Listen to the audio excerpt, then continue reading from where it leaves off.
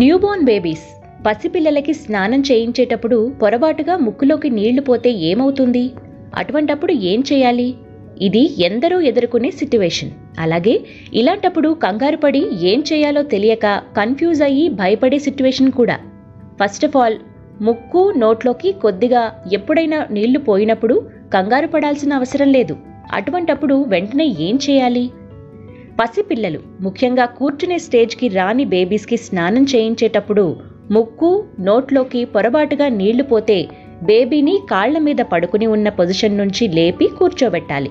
బేబీస్కి వీపు మెడకి సపోర్ట్ ఇస్తూ కాళ్ళ మీద ఇరవై నిమిషాలు కూర్చోబెట్టుకోవాలి. నెమ్మదిగా వీపు మీద ట్యాప్ చేస్తూ అంటే చిన్నగా తడుతూ ఉండాలి. ఇలా చేస్తే బేబీ ఉక్కిరి బిక్కిరి కాకుండా ఉంటుంది.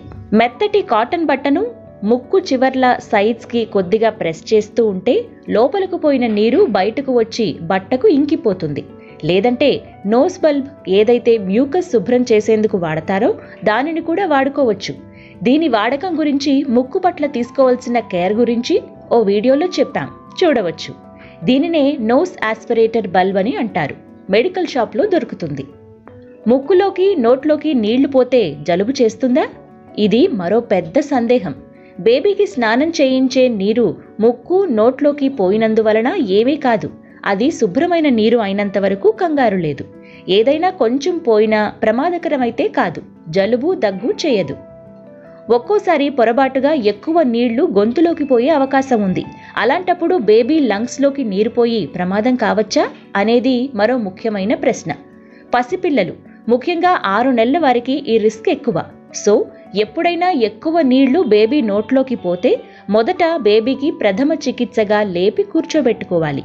అలా కాకుండా కొంత ఆలస్యం జరిగి ఉంటే కొంత నీరు లోపలికి పోయి బేబీ ఉక్కిరిబిక్కిరి అయినా కొద్దిసేపటికి వీపు మీద రాస్తూ ఉంటే సర్దుకుంటుంది.